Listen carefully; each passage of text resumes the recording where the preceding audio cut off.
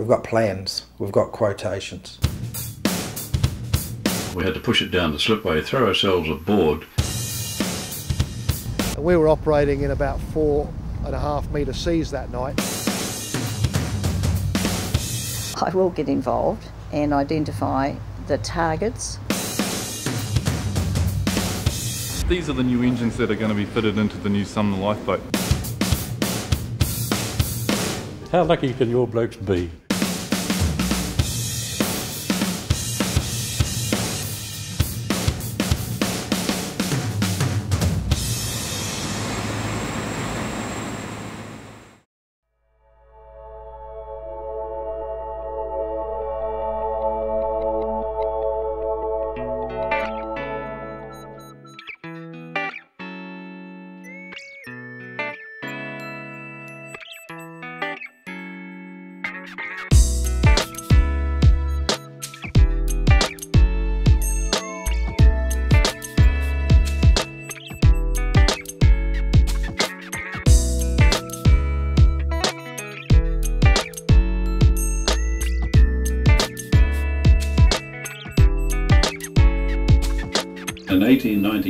The Lyttelton Harbour Board donated a purpose-built, self-righting, four-oared lifeboat.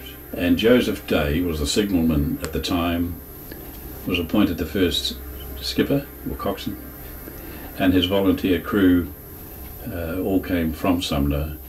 And the first lifeboat sta- was stationed inside Cave Rock, the rowing lifeboat rescue. Latterly was put on the uh, purpose-built building on the pier that was built out from Cave Rock, uh, from the roadside there, and uh, this worked for many years off the pier at the uh, at this Clifton end of the Sumner Beach.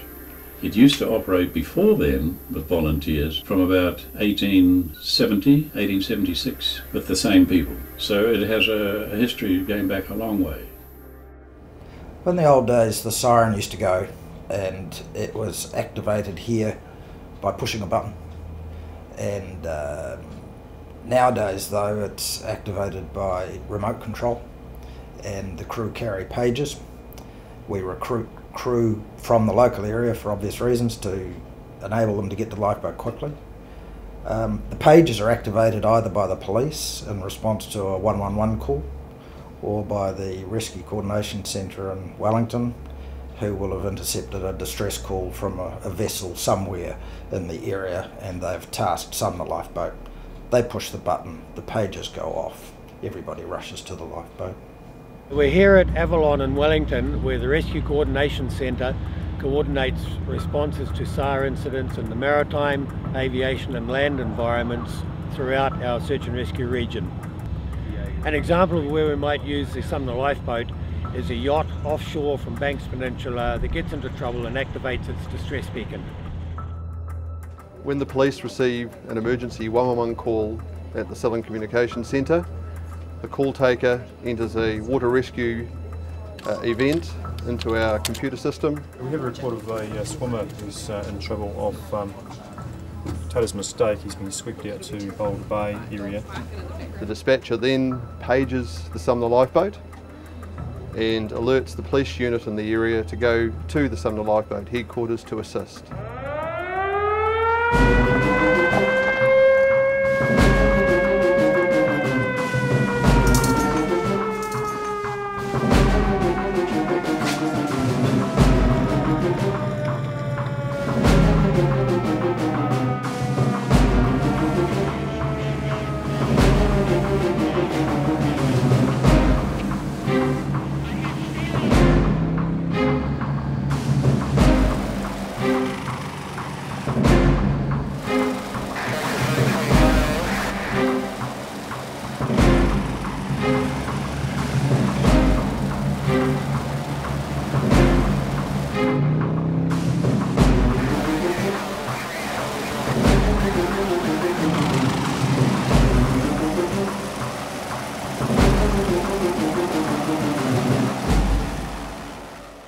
As far as patrons concerned, I think they identified someone who lives in the area. That's me.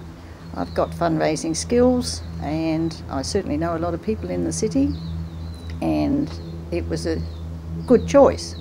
I didn't say no easily because I wanted to know what they had done in their huge history of over 100 years. And, um, but I think the time's ripe now to the Sumner Lifeboat Institution on the map and needing a new boat of $700,000 we'll do that. With the fundraising plan, any fundraising plan, there has to be a plan.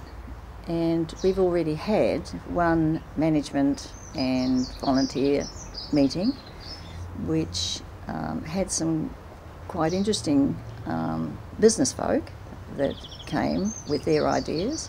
I think I wanted to um, get involved in a community project uh, in Sumner to um, recognise one my interest in the sea. I've always uh, been interested in, um, in boats and boating and always been intrigued with uh, uh, the work that the, the lifeboat had, uh, had done. So to follow on from that, we will obviously have another meeting and identify the major plan of how to raise that huge amount of money.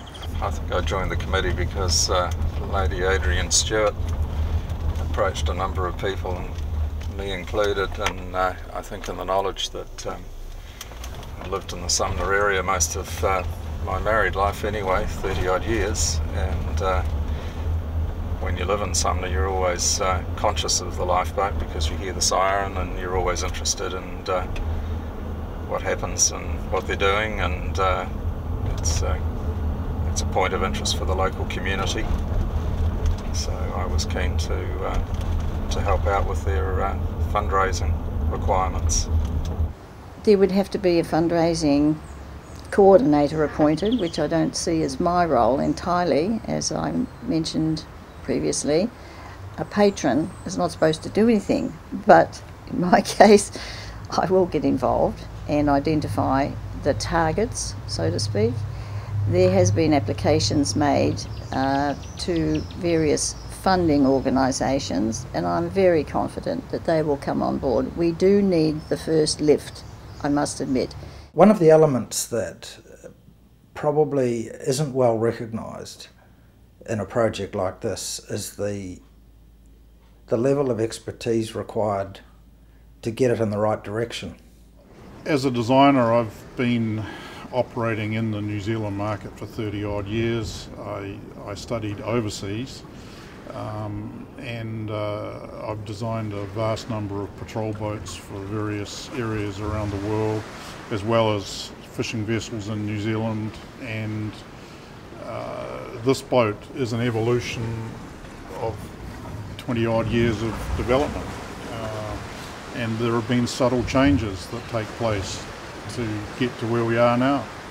I'd have to go back to the Management Committee of 1998, who made a decision to acquire the, the Thames class lifeboat from the RNLI. That was the platform that this project's going to leap off. That was a big decision made by people who were thoroughly competent, thoroughly committed now, some of those people are still uh, actively involved with the lifeboat, but Paul Lawson as coxswain and Murray Johnson as secretary have had to pull forward that same thinking, that same level of expertise and competence. Now, I have no maritime skills or search and rescue skills. I just have bucket loads of enthusiasm for this this organisation, and uh, Paul has brought the expertise. This is a um, 53 foot Thames class lifeboat that we acquired from the Royal National Lifeboat Institution in the United Kingdom. A number of years ago, Sumner Lifeboat did a strategic plan based upon search and rescue needs within this area. We looked at all the assets that Sumner Lifeboat had and found that they were not a well balanced set of assets for modern search and rescue. The inshore fleet has been totally modernised, but we have the need for a high-speed, fast response boat that will work in with the inshore fleet to achieve a robust search and rescue capability. This particular boat, whilst a very capable search and rescue platform, is now starting to show her age. The boat itself is 34 years of age. If we were to keep this boat going forward One, it wouldn't fit in with the strategic plan of Sumner Lifeboat, and two, the costs of maintaining this boat as a frontline search and rescue boat will become prohibitive. The new boat, which will be based at Sumner on the slipway, means that we will be responding directly into the open sea, which can save up to 40 minutes deployment time against this boat. The estimated build time is six to nine months from the, from the day that the go button is pushed. But of course we can't do that until we've got funding secured. It's difficult to say how long that might take, but we would hope that we would have a very clear indication, say by the end of June, and therefore probably funding uh, sufficient to push the go button July, August. Therefore we would hope the build, the boat might be on the slipway in about a year. We've got plans, we've got quotations, we've got lots of ideas and enthusiasm, but shortly we have to turn that into money and then that will become the lifeboat. So it's, it's going to be challenging, I'm sure, stimulating without any question, and uh, in the end it must be very rewarding. We'll be able to walk away from the project and the knowledge that uh, Sumner Lifeboat will have a, a, a fabulous purpose-built vessel to save lives at sea, we think, for 30 years. The lifeboat station behind me here was uh, first located in Days Harbour back in the 1960s and the slipway then, which was wooden, was basically rotten inside five years. So the council engineers designed and built the present slipway, which is a concrete structure based like a bridge. And uh, the buildings were enhanced in the 70s, the purpose of which was to improve the training facilities, which you can see on the top story here now. This is the training room, a key component of the building refurbishment. Uh, with the chart tables up, we can accommodate up to 14 attendees at a training course. If we go through to the crew ready area, this is, this is where the crew would get a quick briefing if necessary before launching. And then of course the, um, the comms room where the, uh, the shore-based team operate the radios, the uh, GPS tracking, charts, etc. Sumner Lifeboat Institution, as it's properly known, now known as Sumner Lifeboat, uh, is made up purely of volunteers. The supporters and the management are all volunteers, and of course the crew are volunteers. There's no paid staff. Donations and bequests come from uh, an amazing variety of quarters, predominantly from local people, uh, often enough from people who have been uh, involved with the rescue. We have recently been the beneficiaries of a, an estate where the deceased wasn't known to us. And I've since learned that uh, this woman lived in Linwood and it was either a, a nephew or a niece had been rescued by the lifeboat some years ago, many, many years ago. And evidently her husband had a, a codicil in his will that she carried through to hers. We were very fortunate uh, a few years ago to be the beneficiaries of a substantial donation from uh, Ian Urquhart, who's a, a, local retired gentleman. And Ian walks around this way frequently uh, as part of his daily routine. And he just noticed that the lifeboat station was looking like it needed a bit of 10 to 11 care. And there was a bit of publicity going on at the same time. And uh, he contacted me one morning and suggested that we might benefit from some money and cut a long story short it was substantial enough to be able to leapfrog into this building project that was completed last year. We're in the dry shed now where the crew equipment's all stored and the jet ski which was acquired in 2005 from a grant from uh, the Southern Trust in Dunedin. And um, more recently the quad bike was acquired through a grant from the Caversham Foundation, another trust based in Dunedin. Safety is foremost here with the launching and retrieving of the jet skis, quite heavy, it's all up about 400 kilos or something. And of course all the safety equipment, um, personal flotation devices, wetsuits, survival suits, life jackets, boots, uh, all averaging around two and a half, three thousand dollars per crew. And uh, we endeavoured to kit out for 25 crew. So there's quite a bit of money tied up just in the safety gear. And of course the um, handheld radios, which are uh, for the crew to take to sea on the vessels that don't have radios. We're in the main boat shed now and the at the top of the slipway and of course there's no big lifeboat in it. Our main asset, LPC Rescue, lies afloat over at Lyttelton. She's too heavy for this building and the slipway. These are designed for a, a vessel about 15 tonnes. Um, part of the, the whole project was to get this building ready for this vessel that's going to be put into this boat shed. Okay, originally the Rother class lifeboat that was in this shed sat on a set of rollers running down the centre here and was launched by knocking out a slip and just running down the slipway. The new boat sits on a trolley and the width of the trolley means that we've got to place a new beam on this side and a new beam on the other side running the full length of this shed to mate up with the beams on the concrete slipway. To those we will attach railway iron and the trolley sits on that with a large winch at the head of the shed in this position up here which will winch the trolley up and down allowing us to launch the lifeboat. Presently it's empty so we've got the dinghy and the IRB housed in here because they can be. Arancia here in Auckland build these. They were designed and built primarily for surf life-saving clubs. But of course, because we do a lot of work around the surf line anyway, uh, we assist and are assisted by both Taylor's Mistake Surf Lifesaving and Sumner Surf Lifesaving. So there's quite a bit of synergy between those two units and this organisation for searching and rescuing. Ordinarily a two-man boat, as opposed to the jet ski, which can be a one-man boat. Both rapid launch, but both only good for close inshore work. So um, this boat might also be used as a tender on the big lifeboat. If it goes to sea for a, a major rescue, it would carry a tender for transferring people to and from the various boats that might be involved in the rescue.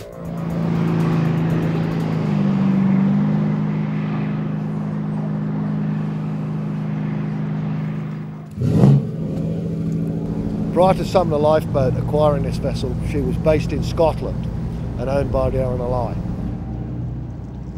Uh, this is our main wheelhouse, uh, which houses um, most of our uh, electronic packages. We've got the VHF radios, GPS, HF directional finding gear, HF radios, VHF directional finding gear and all the instrumentation for the engine room. This vessel's got um, two survivors cabins, one forward and one aft. This is the after survivor cabin sitting behind me. Put up to 30, 30 to 40 people in here if necessary. This is the engine room. We've got two Detroit V8s with twin turbos on them, a Lister fire pump and generator, and the Lister can double as a salvage pump as well. This is what we refer to as the engineer's cabin. Um, the main switchboards are here uh, with all the fuses, signal flags, uh, publications, entrance on my left here to the engine room, uh, entrance on my right hand side here to the forward survivors cabin. We can put um, people in here laying down if necessary. Um, escape hatch up here. Uh, we keep life jackets for all the survivors in here not necessarily a very comfortable position in a big sea. I conducted a rescue off of the Canterbury coast where I had to take this boat 100 miles and we were operating in about four and a half metre seas that night um, and at no time did I feel frightened on this boat at all. We took her down to Timaru which was a trip of 120 miles in um, not very pleasant conditions and wasn't a problem, not a hiccup out the boat at all. She's been a very robust platform and uh, I can't really fault her other than her age. And this uh, boat was stationed in Arlesey in Scotland and operated into the North Atlantic. In talking with the um, original coxswain of this boat who now lives in Timaru, she looked after her crew eminently whilst over there. And in one rescue, she capsized, but still came upright and brought all those crew home, as well as the survivors that they'd picked up that night. So very, very robust boat.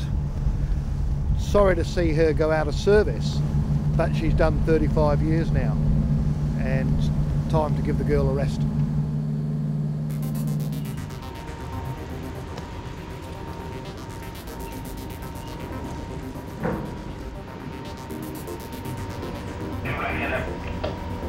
We're getting underway.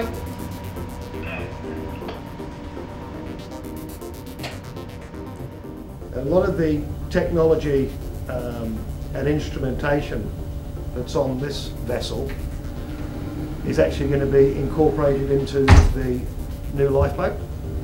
Fire control panels, indicator switches, digital readouts, um, the electronic package where you've got radar and uh, chart plotters combined, uh, foot pedals, boom mics, um, all to make it a lot more easier and ergonomic for operating the lifeboat.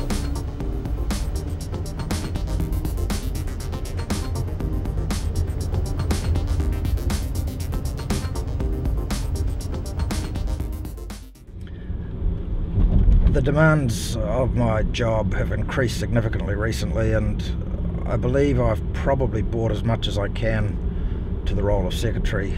Uh, it really needs to be taken to another level now. Um, I've given it five years and um, we're very fortunate to have Fiona with skills that can um, take it forward now that we've built the platform. Being in charge is, is enormous responsibility and um, in some ways a little scary, but I think I can handle the situation. Picking up $300,000 from the Canterbury Community Trust is the culmination of uh, a lot of energy, a lot of commitment, some pretty high levels of competence from a lot of people, and uh, yeah, it's pretty buzzy to tell you the truth. Murray, good morning, how are you? I'm very well. Good. Come on in, take a seat. Thank you. The lifeboat application was an easy decision for the trustees to make. When applicant groups put their lives at risk, we've got to ensure they have the best of equipment and from that point of view, the trustees saw this as a worthy application. Well done. Excellent. And uh, we look forward to uh, hearing of progress as uh, things you know, Yeah, go well- down the chain. That I leave it in pretty good hands with Fiona and um, leave with a great deal of pride. I'm going to stay connected with the management team just to assist them through the uh, the details of the new boat. Uh, but they're well placed to take it forward themselves now, and I just look forward to having a ride in the new boat when it's launched. Murray has given a huge amount of time and effort towards the lifeboat in the time that he's been here. Uh, he's done a, a huge amount of effort with the buildings, the new lifeboat, jet boat, and the new vessel um, being built now. And uh, amazingly huge shoes to fill, and I'm hoping to actually be able to get there at some point. One of the problems that we have in Sumner Lifeboat is that uh, we tend to burn out people in a fairly rapid manner. The trick is with volunteers uh, trying to manage their workloads so that that doesn't happen and we don't lose them. When we've got people with the capabilities that Fiona's got in both administration and her ability in a seagoing role, we have to take care of those people um, because we just cannot afford to lose them. I- think I, I'm capable of doing the, the job and doing it well, and, and hopefully by the time I do decide to step down from the position, I've um, put a little bit extra into the some of the lifeboat that was here when I started. Well, I'm elated that we've managed to um, acquire the funding from the trust. The, it's not all in the bag yet, we still need further funding, but I'm confident that we will achieve that over the next six months if necessary. It's going to be a challenging time in this next year, um, making sure that the build goes right. but I'm also confident that the key suppliers that we've got in this project have got the expertise to make sure that we get a first class product. About mid, early to midway through last year, Paul started to um, just gather together potential ideas for the design. And it steered us towards a company in Christchurch here called uh, Altec, who just recently acquired the skills and the tools to build locally uh, aluminium boats of this size. Previously, that's not been an option in Christchurch. Altec Boats now is just four years old all but. It was the brainchild of Rob Gendel, Lyttelton Engineering. And to cut a long story short, Rob employed me as the manager some years ago and it's grown from there. They brought together their designer, Tim Barnett. Sumner Lifeboat commissioned Tim to do a um, concept, then took that to a design. The current philosophy is get a search and rescue boat there as quickly as possible, but combine that with aerial support so that uh, you can maximise the op- options and, and get the best results. And then from that, a bid pack was prepared, and then key suppliers were invited to quote on the components the jet units, the engines, the build of the boat, infrastructure, and what have you. We've got a small team of aluminium craftspeople at Altec Boats. And so they will be manufacturing the boat. It'll take probably two or three guys, um, the best part of a year probably to manufacture it. Um, there will no doubt be some changes and modifications as we go. It'll take a wee while, but it'll be done properly, and uh, we've got to satisfy Tim's requirements as the designer and Sumner Lifeboats uh, requirements as the end user of the boat. These are the new engines that are going to be fitted into the new Sumner lifeboat. They are a Megatech MBE 926 engine. They're a 7.2 litre turbocharged diesel engine producing 500 horsepower. They're a full marinised engine complete with heat exchanger and water cooled manifolds. They are then coupled up to a ZF gearbox and then through to the Hamilton jet unit. They're a nice lightweight compact design um, only weighing 680 kilograms. They've been specially designed for the marine environment with this bolt-on modular filter setup, making servicing quick, clean and easy. This is one of the HJ322 water jets that have been selected by the Sumner lifeboats for their new patrol vessel.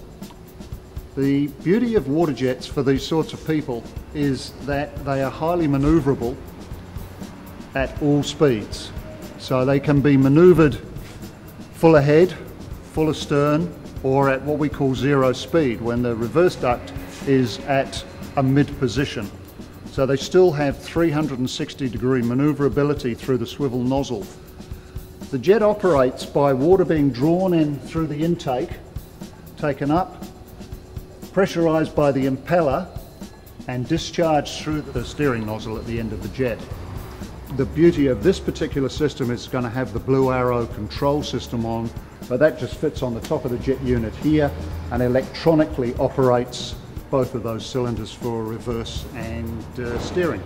The Blue Arrow control system provides all the electronics and controls on the bridge so that the skipper can uh, navigate the vessel uh, in the direction he wants. He can uh, make the vessel move forward, back, or even directly sideways. With two jets on a vessel, uh, it allows the boat to go directly sideways. So it gives him a lot of control, uh, particularly when he's docking or manoeuvring around an object, or maybe even picking somebody up out of the water if necessary. Uh, jets have some good capabilities, and the electronics uh, allows them to, to take good advantage of all those. You can drive at the helm and then there's a throttle in the reverse here. Or the second option is the uh, this is called a mouse boat maneuvering controller. So the just behind this is um, when you're maneuvering at low speeds if you're not a jet expert you don't know where to put the buckets so with the mouse basically anything you do with the mouse the boat's going to do. So if you push it sideways the boat will move sideways. If you twist it the boat will twist and you got forward and back. And um, it basically came about because a lot of boats have a high turnover of staff and they can't keep up with the play on how to do it with the controls. So we're just trying to make it really easy for them. And there's a lot of software behind how that operates the jet to do, to move the boat sideways and do everything it's supposed to do. Without the support of the um, local manufacturers and the goodwill that they are showing in this project, this vessel, instead of being three quarters of a million dollars, will be more like 1.2, 1.3 million dollars.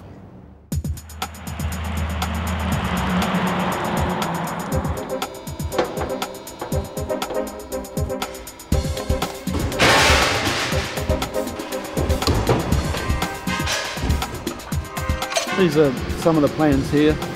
This one here shows you how the boat fits on the jig and the, the heights from the top of the jig to the bottom of the boat. This one here you can see the, the stringers and the ribs in the boat. Hopefully if everything goes well and all the contractors get dubbed in, it's possible to be November 09 launching date. We're five weeks into the build. At this stage we've welded all the rider bars to each frame and then put the frames onto the keel bar and at the moment we're bolting it all to the jig. Well as you can see the frames are all up and the keel's in place. It's um, really very exciting um, for Sumner Lifeboat that um, the project is now underway and we can get a real sense of the size of the boat. So there she is Walter. First of the hull plates on forepeak. Uh, originally we were going to have a hatch going in through the deck, but we're not going to have that now. It's going to be a hatch coming in from the survivor's cabin. Righto. We'll keep um, the odd ropes and stuff like that there, but essentially it'll be a void space. The next section here is the survivor's cabin. As much room as that, eh? Yeah. And the crawl space will be through that forward collision bulkhead. Yes. Um, allowing us access to the forward end where the uh, winch motor will be. Right. Then the after end of the survivor's cabin, galley on one side, toilet on the other. Galley and toilet. How lucky can your blokes be? Then this section here that you can see is an equipment store. We'll keep things like the um, salvage pump, the suction gear, fire hoses, bits and pieces like that, stuff that we need to get at, but not all the time. Not in the way either. Then this next section here is uh, fuel tank space. Right. Um, 1,000 litres per side. Individually feeding each engine. So each engine will have its own fuel tank. Mm -hmm. We will have the ability to cross flow fuel if we need to. Below this level, because the boat's upside down at the moment, is where the wheelhouse is going to be. And moving aft, engine room, two big Mercedes diesel engines going in here.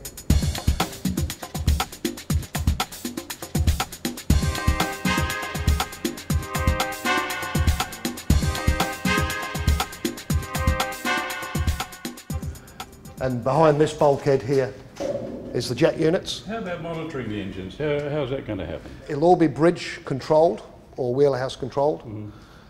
along with all the systems. So your bilge pumps, your fuel transfers, uh, your firefighting, everything will be activated from the wheelhouse. There'll be a camera in the engine room and the engine room will be lit all the time. So when, you're watching by video? Yeah. In the wheelhouse? Yes. Goodness gracious me. Two level deck, so the, you've got your main after deck, step down to this level here, mm -hmm.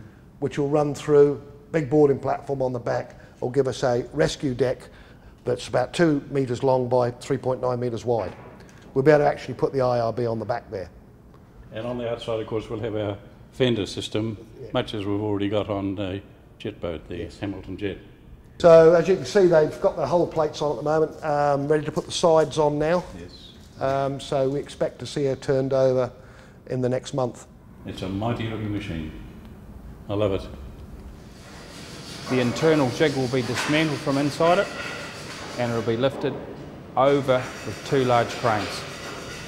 I wish I was 40 years younger.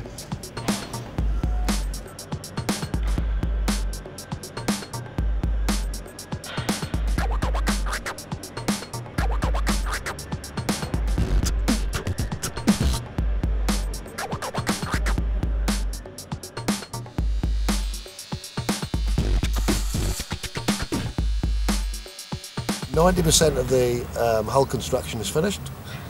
Um, we're in the stage where they're putting handrails on, um, safety rails. From that position, they will then move on to doing some work inside the wheelhouse of the boat. And we confidently expect that the boat will go away for be, to be painted in about three weeks' time.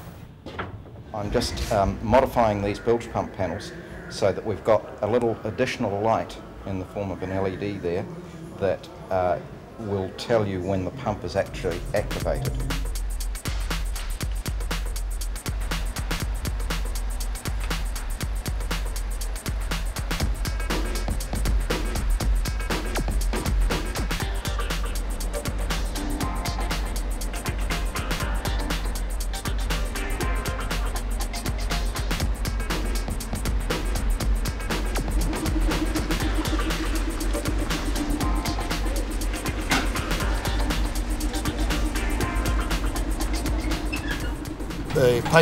Process is going to take up to about two weeks, and then the boat will come back and there will be the actual fit out. So all the componentry, windows, doors will be arriving, um, electronic packages, um, all the wiring, uh, firefighting equipment will all be arriving, and that'll all be the process of fit out will begin. Today we're going to lift the boat with a crane and mate it up to the trolley that Stark Brothers have built for us um, so that we can make sure that it will properly fit the trolley before we take the trolley to Sumner. At the same token we'll get a weight for the boat because there are some limitations on how much the boat will have to weigh for us to be able to make sure the boat performs correctly. The uh, lift of the boat went quite well actually. It's the first time the boat's been married up to the cradle, so uh, it looks pretty uh, pretty close for tolerances. Um, the lift of the boat went uh, very well as far as balance and everything goes, and um, yeah, it looks looks good. It looks good. I think um, I think there will be hardly any alterations to be done. There was a bit of a uh, uh, a weight suggested of about seven and a half to eight ton, and it came in just on eight ton which is um, pretty good, I think. So I think its build weight had to be eight ton or less. So I think it's spot on. Eight ton, just in, just inside, just inside. We've negotiated a very good arrangement with CWF Hamilton, where the new lifeboat's going to be named Blue Arrow Rescue, and that uh, is an agreement that'll fund the lifeboat for five years and beyond we look forward to continuing that long relationship that we've had with Hamilton's since back in the 70s with the first jet boat. It was felt by the prospective boat builder and the naval architect that some recognition should be given to Sumner Lifeboat because of the thought and concept of this new boat. And they've agreed to call the class of boat the Sumner class.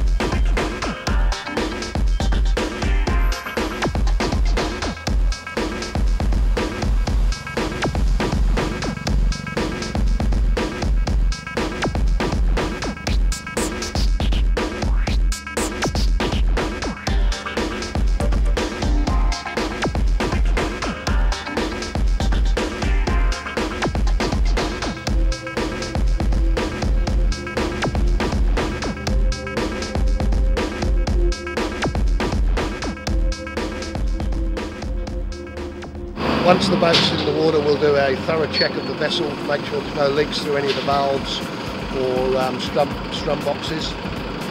Um, switch on the, um, the electric bilge pumps um, and fire up some of the systems in the boat to safeguard.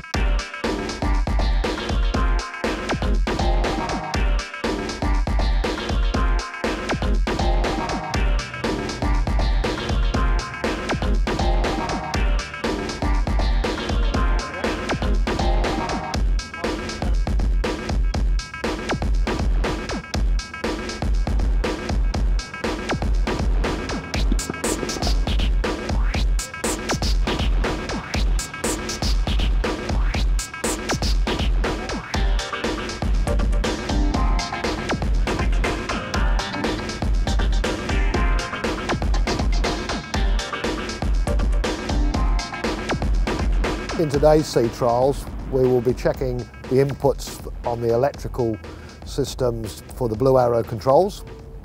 Uh, we don't anticipate any problems because there's been a, quite a bit of work done um, on that field and Hamilton's have been extremely good um, in coming down with their little computer and setting things up for us. We're just going to go through commissioning the jets, um, making sure all the control systems configured and working correctly um, and obviously make sure the jets are mechanically working soundly as well. So yeah, pretty good day for us.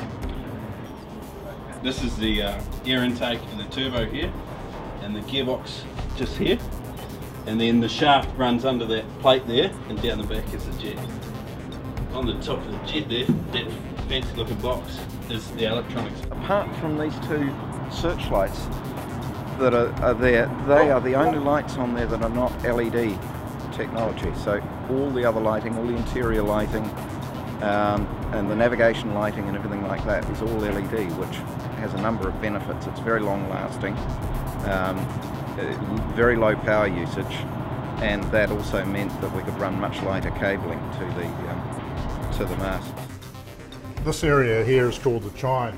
There are some very subtle shapes in this because the placement of this chine dictates the angle of this plate. So if you actually get that wrong and that wrong, you'll end up with a very badly performing boat. Each crewman has to wear safety harness life jacket and this safety harness can click onto a track system that we have going around the boat. The night vision camera that we have at the top of the mast, which is interfaced through our nav screens, has actually got an added benefit that it, not only can we use it for finding people in the water, but it also makes travelling at high speed at night very easy. We can actually see the waves that we're going towards, or if we've got the camera turned round um, facing astern, we can see the waves that are coming up behind us, um, and it gives the crew a lot of confidence to operate the boat at high speed at night.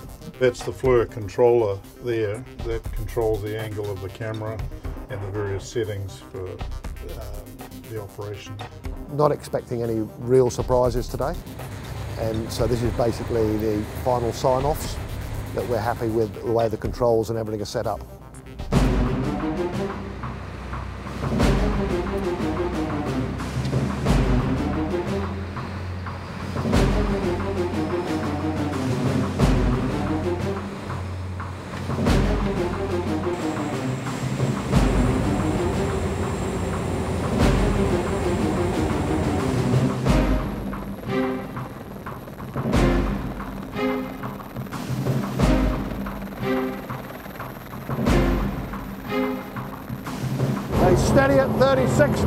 Three quarter power. Going to open her up.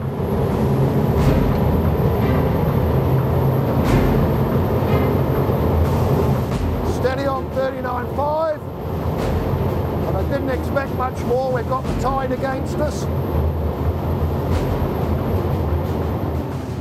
Well, the ability to stop on a dime um, amazed everybody when we do a crash stop the ability to operate um, inside quite big surf and turn the boat in its own length using all the different controls that we've got um, makes it very, very good.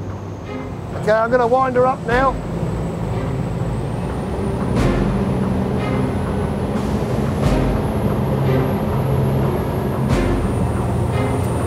Okay, stand by, boat going round.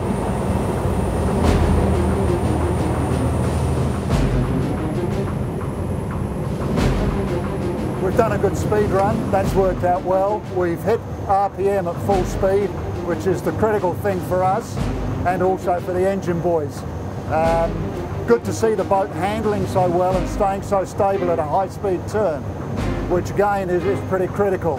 Uh, the, the other factors we're looking for on trials are the ability for the Blue Arrow system to work well with the mouse boat when we've got docking control going on, manoeuvring around the docks, and as we saw, it handled really well.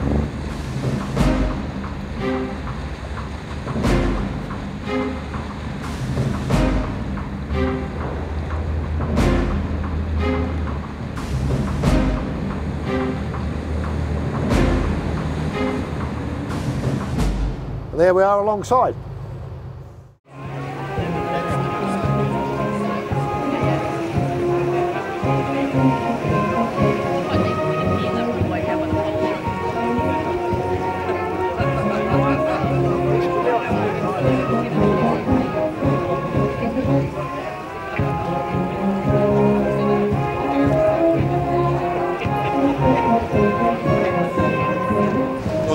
Ladies and gentlemen, lovely to have you all here. This is a very important time. This is a very lovely place, and uh, we're doing something extremely important today, and probably more importantly, something that's extremely positive and uh, of great benefit to the community. I'd like to extend a special welcome to our local MPs, the National MP from Port Hills, Honourable David Carter, Labour MP for the Port Hills, Ruth Dyson, also our Mayor Bob Parker and Joanna Parker Knowles, our patron Adrienne Lady Stewart, other distinguished guests, life members, supporters and crew. First of all, I'd just really like to say how proud I am to be patron of the Sumner Lifeboat Institution. Oh yes, well done. Oh, the boat behind me represents far more than we ever envisaged. Um, it's exceeded our expectations, no question about that. As I understand it, the performance uh, uh, that Paul's discovered is uh, equal to or better than anything that we'd anticipated.